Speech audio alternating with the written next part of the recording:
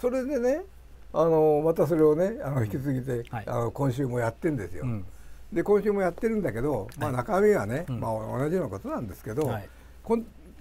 これではまた森はボケてる女性演出家を排除。黒幕は電通ナンバー2でその電通ナンバー2だけど森はボケてるって言ったっていうようなことを書いてんだけど、そのここで三越日本が終わってしまうので、要するにその、えー、僕がもう一つ問題にしたのはですね、LINE っていうのを、じゃあその勝手にね、公開していいのかと、人様の、との話やり取りとかを、指針ですからね,、うん。ね。そういうことについて疑問を呈したところはどこもないわけ、はい、確かに。これからね、そのネット社会でさ、い、ろいろ問題になるよそれ、はい、あの例のあのなんだっけあのベッキーの時さ、はい、ベッキーの時はちょっとそういう声もあったんですありましたね、うん、こんな声、はい、あこんな出していいのか。出していいのか。でもあれはベッキーがさ、はい、なんかセンテンススプリングとかなんか言ってさ、あのうまい切り返しやったからうやむやになっちゃったけど、うん、あれは本当はもっとちゃんときちんとそこを論じないといけないんですよね、うん、LINE のあれを勝手に出していいのかと。うんそうですね。今 LINE のまあこれ後でやりますけど、はい、LINE のあの情報流出が問題になってますけど、ね、いやこういうのはさいいのかなと、はい、どうなの？これ。どう思う？和田君は。いやよくない俺なんかあの、はい。LINE 始めたばっかり そうそうそうそうそう。すごいタイミングで始めたなと まずいタイミングで始めたって、はい、笑い物になってますけど。いやいやいやいや。でももうあまあ、うん、LINE については、うん、結局もう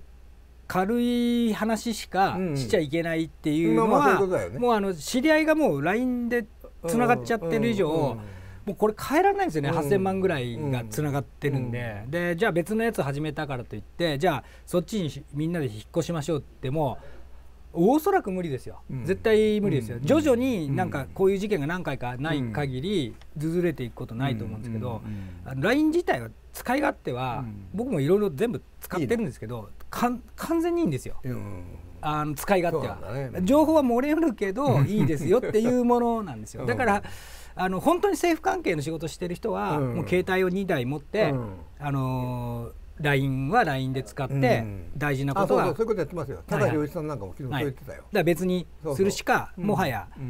ないんですよ。携帯で高橋洋一さんなんかは携帯で全部済ませてるわけ、はいはい、情報収集とか、原稿が来てく連絡とか、はい、じゃあ高橋さんそれ漏れたらどうするんだと、はい、こう言ったら大事なやつは全然別な携帯で、はい、そうです。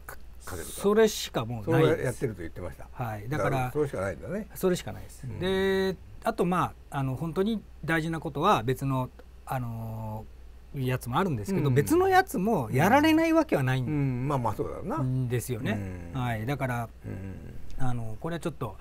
あのあれですけどあとまあ騒いでる人すごいいるんですけど、あのまあ、大半の人の情報は大した情報じゃないっていうのは あるんですよ。いやあなたの情報は大したことないから漏れても別にっていうふうなでもまあそのなんかその政府機関とかなんか使ってると、はい、そのやっぱりその個人情報が漏れることは確かだからね。はいはいはい。そうそういう場合があるからね。そうなんですよ。問題ですけどね。はい。だから大事な話はそこではやらないようにっていうのだけはちょっとあの本当にねあの会社のすごい大事な話ですよね、えー、そういうのはそこでやらずに別のアプリを使ってやるようにするとせめてねぐらいしかもうこういう付き合い方していくしかないと思うんですよね。あと LINE がさあの俺だってあの LINE とか言っちゃってるんだけどさ、はい本当は LINE だろうと言いたいところなんだけどさ。それ LINE とか言う。LINE とか言わないと通じないっていうのが嫌になっちゃうんだけどね、はい、LINE だろうと言いたいんだけどさ。LINE になるとちょっと違うんですよね。そうそうそう。なんだけど、本当はね、はい、クラブとクラブみたいな感じですね。クラブだろうとこう言いたいんだけどそれでもね、ちょっとあれなのはさ、じゃあこの漏らし LINE のね、あれを漏らしたやつ誰かと、犯人探しで、当然その関係者しかいないわけですよこれ思わせるやつは。そうですね。ね、はい、そうするとさその一番怪しまれるのはさ、はい、あの美紀子さんっていうさ、はい、前やってて、はい、あのクビになっちゃった、はい、あの佐々木氏に切られてね、はい、っていう人じゃないかなと、こうまあ普通考えちゃいますよね。美紀子さん一派に、うん、周辺ね。ね。はい、うんで今月号では今週号では三越日本が終わってしまうなんて今度は三越、うん、名前だ顔写真入りでですね、はい、こういろいろ批判してるわけですけどね、はい、あのー、どうなのかなと。はい。